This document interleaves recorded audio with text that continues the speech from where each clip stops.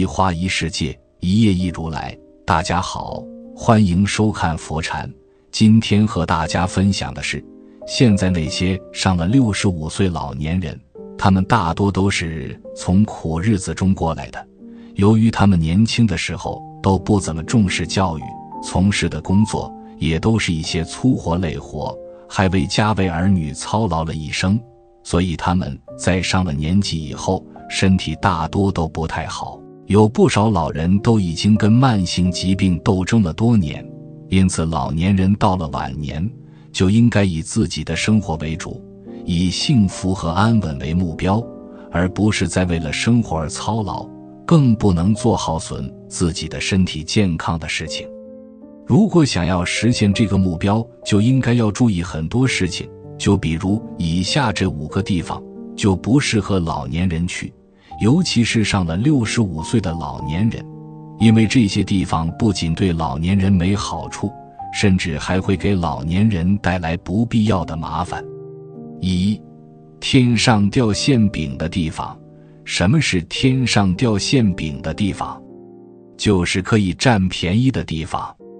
人们总是说君子爱财，取之有道，不管是大财还是小钱。都得是正当合法的渠道取得的，你才能安心的享用这笔钱财。最近，总是看到有些不法分子抓住老年人注重身体保养的心理，安排一些保健药品讲座，或是保健用品免费体验等，让老人们成群结伴的来他们会场参加，并且还承诺了老人。只要到场就能免费领取一些小礼物，绝不用花一分钱就可以免费体验被他们包装的如神药一般的保健品。老人们爱占便宜，喜欢凑热闹，和越来越在意身体健康的心理，被这些骗子们拿捏得透透的。一旦老人们去参加了免费体验活动，没有几个能不花钱的。而且还都是花的大钱，如果是单纯的被骗一些小钱，还能勉强当破财免灾了，就怕是被骗了半辈子的积蓄，买了伪劣产品。这个时候，难免着急上火，再加上身体本身就有一些基础疾病，什么高血压之类的，被气得住了医院，自己受罪，还要拖累儿女每天去照顾。如果我们不去这种地方，不去这种可以占便宜的地方去凑热闹，是不是就能避免上当受骗，也不会生病住院？既能避免金钱的损失，又能减少身体的痛苦，儿女们也依然能正常的工作和生活，不用每天操心着去医院照顾老人。所以，这种会天上掉馅饼的地方。能不去，坚决不去。如果不小心被忽悠去了，一定要及早退出来。二有酒桌的地方，喝酒似乎已经成为了我们的一种传统文化。逢年过年要喝点，家里来了客人要喝点，家里有喜事或是丧事也得喝点。求人办事、谈生意，更是要经历酒桌的一番洗礼。才能成功。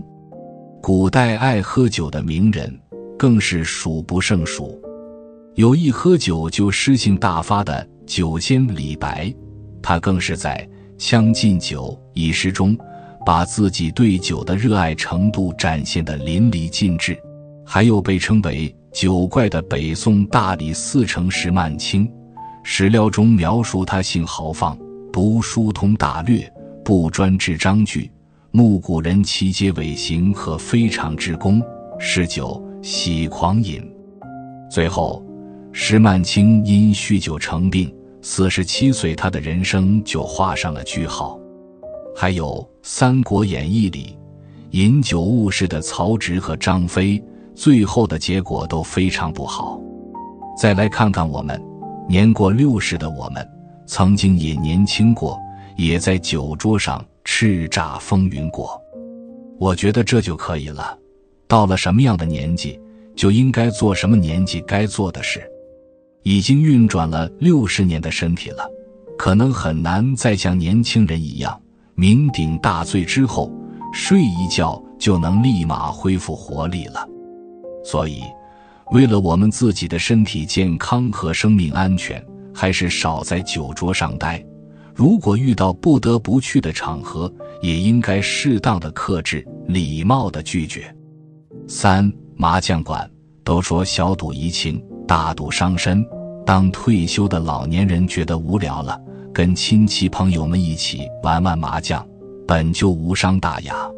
但如果你本身的自制力比较差，或者患有颈椎病、腰椎病等问题，就要少去麻将馆这些地方。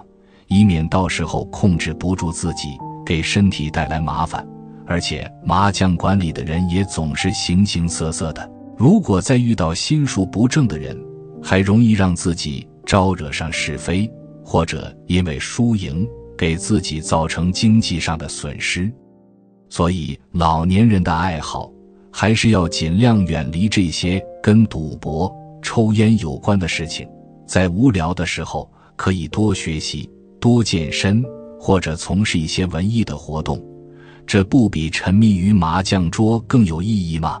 四、产生是非的地方，闲谈莫论他人非。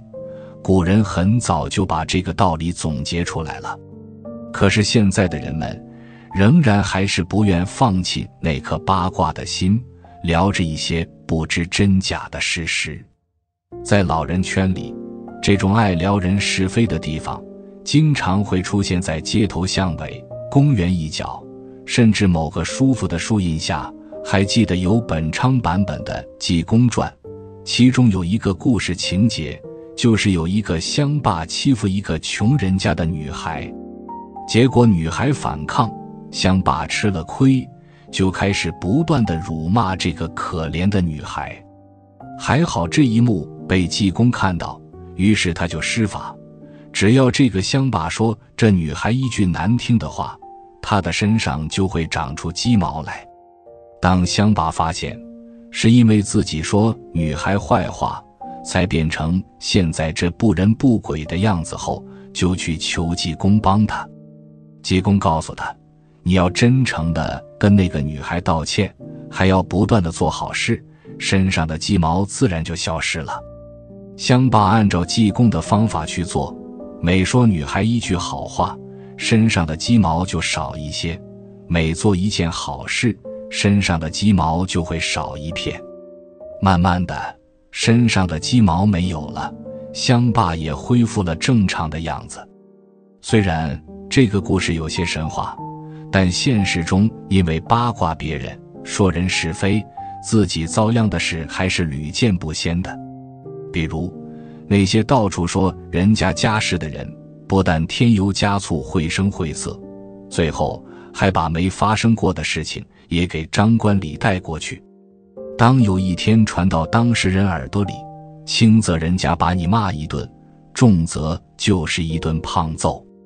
这就是逞一时口舌之快，议论他人是非的后果。我们到了六十的年纪，还是远离那些是非之地。少说一句别人的是非，就是给自己和子孙后代积累一次福报。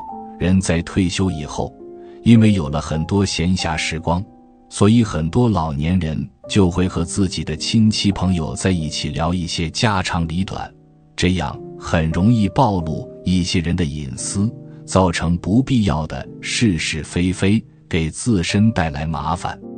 如果你不想晚节不保，最好是远离那些爱在别人背后嚼人舌根的人，并且在别人讨论是非的时候，还要立刻退出，千万不要久留。只有不论他人短长，经营好自己的生活，远离消极、负能量的场所，才是老年人最应该做的事。五爬高踩低，有些老年人就总是闲不住。在家没事干的时候，就喜欢大扫除。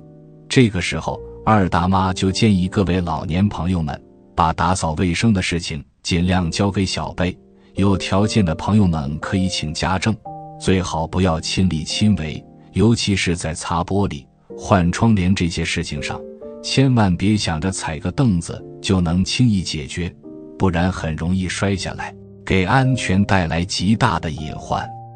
毕竟人上了年纪，腿脚会不利索，如果不小心摔一跤，就会造成难以挽回的后果。所以，老年人在平时，无论生活有多无聊，也不要做自己能力以外的事情。只有量力而行，才能让自己的晚年更安稳，不会给身体造成伤害，还不会给儿女们带来负担。以上就是不适合老年人去的五个地方，希望大家都能注意一下，这样才能让自己有一个幸福快乐的晚年，往后余生都能和家人一起享受平安喜乐的美好生活。今天的分享就是这些，非常感谢您的收看。喜欢佛禅频道，别忘记点点订阅和转发哦。在这里，你永远不会孤单。